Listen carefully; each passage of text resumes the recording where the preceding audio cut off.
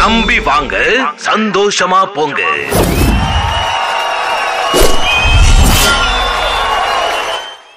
மாமன்னர் ராஜராஜ சோழனின் சமாதியை அகழ்வாராய்ச்சி செய்து அறிக்கை தாக்கல் செய்ய உயர்நீதிமன்றம் உத்தரவிட்டுள்ளது. அதை பற்றிய விவரங்களை தெரிந்து கொள்வதற்கு இந்த வீடியோவை கடைசி வரை பாருங்கள். இது போன்ற பதிவுகளை தொடர்ந்து பெற நமது டீக்கடை ரேடியோ சேனலை சப்ஸ்கிரைப் செய்யுங்கள்.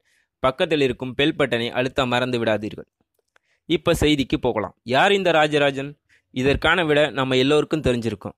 அதனால ஷார்ட்டாக சொல்கிறேன் சோழ மன்னர்களில் மங்காத கீர்த்தி கொண்டவன் ராஜராஜ சோழன். சோழ நாடு முழுவதையும் அளந்து கணக்கிட்டு தற்போதைய நில அளவை முறைக்கு முன்னோடியாக இருந்தவன். சிறந்த சிவபக்தனான இவன் தமிழ் வேதமாகிய தேவாரத்தை தில்லைவாழ் அந்தனரிடமிருந்து மீட்டு உலகுக்கு அளித்தவன். இத்தனைக்கும் மேலாய் இன்றளவும் முற்கால தமிழக கட்டடக்கலைக்கு சான்றாக நிற்கும் தஞ்சை பெரிய கோயிலை கட்டியவன். இத்தனை பேரும் புகழும் கொண்ட மன்னனின் எல்லா செயல்களுக்கும் கல்வெட்டுகளும் செப்பேடுகளும் சான்றாக இருக்கின்றன.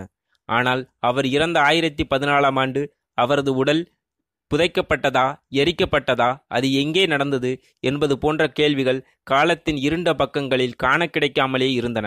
இப்போது இந்த விஷயத்தில் சிறு வெளிச்சம் விழுந்திருக்கிறது சில ஆண்டுகளுக்கு முன்பு கும்பகோணம் உடையாளூர் என்ற ஊரில் தான் ராஜராஜ சோழன் அடக்கம் செய்யப்பட்ட இடம் இருக்கிறது என்றதொரு தகவலை தன் ஆராய்ச்சி மூலம் வெளியுலகுக்கு அறிவித்தார் கும்பகோணத்தைச் சேர்ந்த கல்வெட்டு ஆய்வாளர் சேதுராமன்.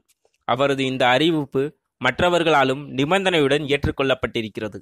ஆனால் இன்று வரை அவ்விடத்தில் தான் ராஜராஜர் இளைப்பாறிக் கொண்டிருக்கிறார் என்ற செய்தி முழுமையாக நிரூபிக்கப்படாமலேயே இருக்கிறது. அதற்காக தமிழக அரசு தகுந்த முயற்சி எடுக்காமல் இருப்பது வரலாற்று விரும்பிகளுக்கு வேதனையை உண்டாக்கியுள்ளது. இதனிடையில் ராஜராஜ சோழன் அடக்கம் செய்யப்பட்ட இடத்தில் தொல்லியல் துறை அகலாய்வு செய்து அறிக்கை தாக்கல் செய்ய உயர்நீதிமன்ற மதுரை கிளை உத்தரவிட்டுள்ளது. ராமநாதபுரத்தைச் சேர்ந்த வழக்கறிஞர் திருமுருகன் உயர்நீதிமன்ற மதுரை கிளையில் பொதுநல மனு ஒன்றை தாக்கல் செய்திருந்தார். அதில் சோழ சாம்ராஜ்யத்தின் பேரரசன் முதலாம் ராஜராஜ சோழன் என்னும் அருண்மொழிவர்மன் கிபி தொள்ளாயிரத்தி எண்பத்தி ஐந்தாம் ஆண்டு முதல் கிபி ஆயிரத்தி பதினாலாம் ஆண்டு வரையில் ஆட்சி புரிந்தார். இவரது ஆட்சி காலத்தில் நுண்கலை கட்டிடக்கலை சமயம் இலக்கியம் என அனைத்து துறைகளிலும் சிறந்து விளங்கின.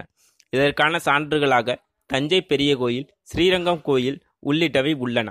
இவருடைய ஆட்சியும் கட்டிடக்கலையும் இன்று வரையிலும் உலக அளவில் அனைவராலும் பாராட்டப்பட்டு புகழ்ந்து பேசப்பட்டு வருகிறது. ஆனால் இவருடைய சமாதி தஞ்சாவூர் மாவட்டம் கும்பகோணம் அருகே உடையாளூர் என்ற கிராமத்தில் கேட்பாரற்று பராமரிப்பின்றி சிதைந்து கிடக்கின்றது.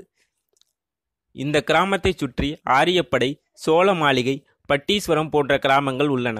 இவரது ஆட்சி காலத்தில் கட்டப்பட்ட அரண்மனை மற்றும் மாளிகைகள் உள்ளன. இங்கு முறையாக தொல்லியல் துறை ஆய்வு செய்தால் சோழர்களின் வரலாற்றுச் சான்றுகள் கிடைக்கும். மிக பெரும் சாம்ராஜ்யத்தை கட்டியமைத்த ராஜராஜ சோழனின் சமாதியின் இன்றைய நிலை மிகவும் மோசமாக உள்ளது. ஆனால் பிற மாநிலங்களில் அந்த மாநிலத்தில் புகழ்பெற்றவர்களுக்கு அவர்களின் புகழை பரப்ப சிலை அமைக்கப்பட்டுள்ளது. உதாரணமாக மகாராஷ்டிர மாநிலத்தில் சத்ரபதி சிவாஜி சிலையை அரபிக்கடலில் ரூபாய் நாலாயிரத்தி தொள்ளாயிரம் கோடி செலவில் நிறுவியுள்ளது. இதேபோன்று குஜராத் அரசு சர்தார் வல்லபாய் பட்டேலின் சிலையை ரூபாய் மூவாயிரம் கோடி செலவில் நிறுவியுள்ளது. இதேபோல் மாமன்னர் ராஜராஜ சோழனின் சிலையையும் இந்திய பெருங்கடல் அல்லது வங்காள விரிகுடா கடல் பகுதியில் நிறுவ அவரது சமாதி உள்ள இடத்தில் மணிமண்டபம் கட்டி அதனை அனைவரும் பார்த்து அறியும் விதமாக சுற்றுலாத்தலமாக அறிவிக்கவும் உத்தரவிட வேண்டும். என கூறியிருந்தார். இந்த வழக்கு நீதிபதிகள் கிருபாகரன் சுந்தரன் அமர்வு முன் விசாரணைக்கு வந்தது. அப்போது அரசு தரப்பில் உடையாளூர் பகுதியில் ராஜராஜ சோழன் அடக்கம் செய்யப்பட்டதற்கான முழுமையான ஆதாரம் இல்லை. தொல்லியல் துறை தரப்பில் ஒரு உயர்மட்ட குழு அமைக்கப்பட்டுள்ளது. ராஜராஜ சோழன் புதைக்கப்பட்டதற்கான ஆதாரங்கள் உள்ளதா என்று நவீன உபகரணங்களை கொண்டுதான் ஆய்வு செய்ய வேண்டும் என்று தெரிவிக்கப்பட்டுள்ளது. அதற்கு நீதிபதிகள் அகழ்வாராய்ச்சி செய்யாமல் மேலோட்டமாக அவ்வாறு கூறக்கூடாது. தமிழக அரசின் தொல்லியல் துறையின் உயர்மட்ட குழுவினர் தற்போதைய நவீன தொழில்நுட்பங்கள் மற்றும் உபகரணங்களை கொண்டு ராஜராஜ சோழன் அடக்கம் செய்யப்பட்ட இடத்தில் அகலாய்வு செய்து அறிக்கை தாக்கல் செய்ய வேண்டும் என்ற உத்தரவிட்டு வழக்கு விசாரணையை வரும் ஏப்ரல் இருபத்தைந்தாம் தேதிக்கு ஒத்திவைத்தனர். தெற்காசியாவையே கட்டியாண்ட மாமன்னின் பள்ளிப்படை பற்றிய உண்மைத்தன்மை இப்பொழுதாவது வெளிவருமா என வரலாற்று விரும்பிகளும் பொதுமக்களும் ஆவலுடன் காத்திருக்கிறார்கள். ஏன் கோவிந்தா? டீ ரொம்ப சூடா இருக்குல்ல கோவிந்தா? ஆமா கோவிந்தா.